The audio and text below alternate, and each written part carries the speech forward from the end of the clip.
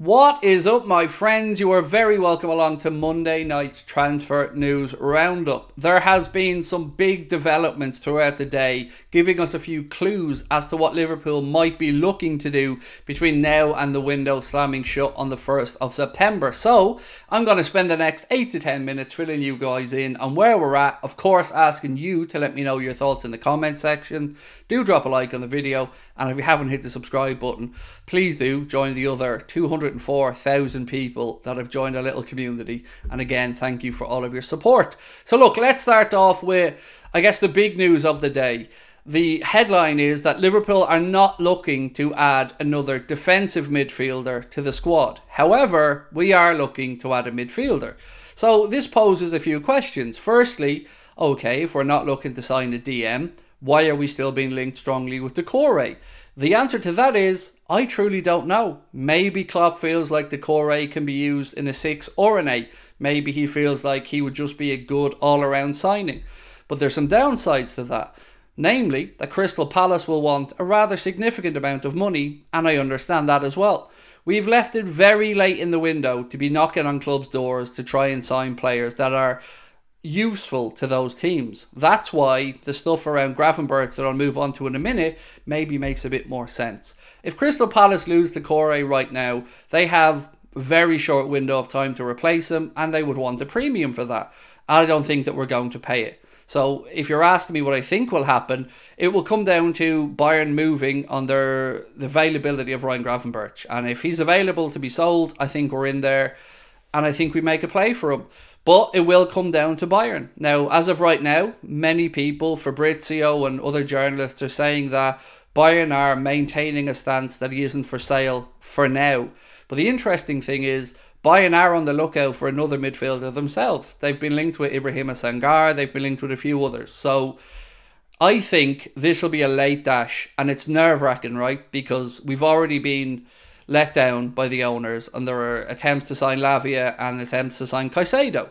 We did get Endo in, and I'll move on to talk about him in a moment, but we've rightful questions to ask how we are still here on the 20th of August, needing at least two more signings, and what has taken so long. Because we still need the centre back that Jurgen Klopp has wanted all summer, and we need another midfielder.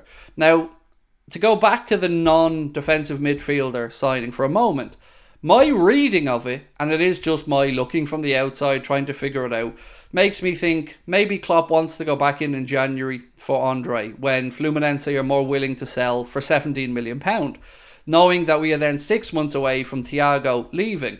So that could make sense. Maybe we have another potential uh, number six style player that Klopp's looking at, added to obviously by Bajcetic's return to fitness. Makes sense. We've signed Endo. But can we please give Endo a chance? That's one thing that I, I feel like I've had to really ram across on my streams in the past few days. People keep saying it's a cheap signing, and I get it, but you can't blame the owners on this one. This was a Klopp signing. Klopp looked around and decided that this was the best fit that he could find for a number six right now that he could get done. And I'm okay with that because Endo could be an absolute masterstroke for the next two or three years. And we need a defensive midfielder, and we've gotten a defensive midfielder. So let's give the man the benefit of the doubt and give him a chance to prove his worth. After that, I am all out of excuses for the owners and the manager because the fact we're sitting here now, having brought in what have we brought in? Three players now and lost eight still leaves more questions than answers. So it's going to be a hectic end to the window. What we need for this window to be a success, in my opinion, is another midfielder and a left-sided centre back. Smart money right now would seemingly be going on Ryan Gravenberch. Manchester United are also in the mix for his signature, but I think Liverpool have done enough groundwork there that I think we could get the job done. We are no longer interested in Sofyan Amrabat. I mentioned this to you guys a few days ago. It's been confirmed now by many journalists, so we can put that one to bed. Liverpool ruled themselves out of that deal last week. So, with regards to potential outgoings, well, one came up today and it worries me, and that is that Rafael Benitez and Celta Vigo are apparently interested in bringing in Caoimhín Kelleher and adding him to their squad. Now, at the start of the summer, I would have understood this because we would have had time to bring in a replacement goalkeeper. But right now, we can't stare down the barrel of a season with Adrian as a number two. It is just an accident waiting to happen. So I hope he doesn't leave now. And I feel bad saying that because I do want Caoimhín to get the opportunity to play first team football. He deserves that. But we're not going to get a replacement in that I'm aware of as good as him at this stage in the window. We've seen other clubs go out there and bring in keepers. Obviously, Arsenal brought in Raya to give competition to uh, their number one. And I don't know how Ramsdale feels about that, but Arsenal have brought it in. So for us, we need to have two top level keepers, and we do. So I hope we don't lose Caoimhín Kelleher this late in the window. With regard to a left sided centre back, it looks like it's down to three names. Perr Schuurs from Torino, who won't be uh, young enough to not have to take up a homegrown spot. We have Hincapié of uh, Bayer Leverkusen, who would be young enough to not take up a non homegrown spot. And the other one that we've been linked to is, of course, um, who was the other one, Craig? Now think Hincapié, uh, Perr Schuurs, and who was the other one? Oh, yes, uh, Theate from Rennes, who I don't know much about in all honesty, but his name has been mentioned. So I'm happy if we end this window bringing in let's say, because the manager wants Gravenberch, let's be honest, he seems to want them. So Gravenberch and Hincapié on top of Alexis McAllister, Dominik Szoboszlai and Endo. And I think that's an acceptable rebuild.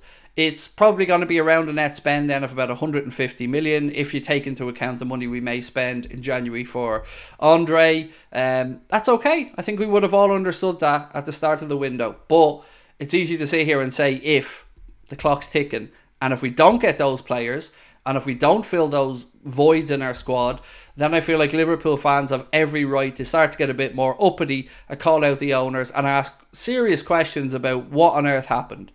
Because we've had long enough to plan for it. It's okay if we get it done. If we don't, excuses aren't going to cut it. But my take on this is even now, if we do get them done, I still feel like some damage could have already been done to our season. Who's to say that if we had brought Endo in a week or two earlier and he had more time to train that we wouldn't have finished up winning against Chelsea. And then we started on the barrel of this Newcastle game and if we can go to St James's Park and get a win, we could have been putting pressure and we could have had a great start.